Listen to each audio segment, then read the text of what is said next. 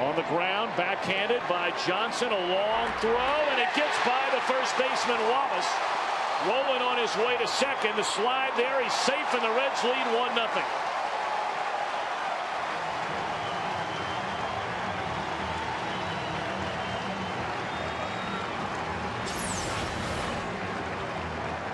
Tom, you said it as good as you can say it.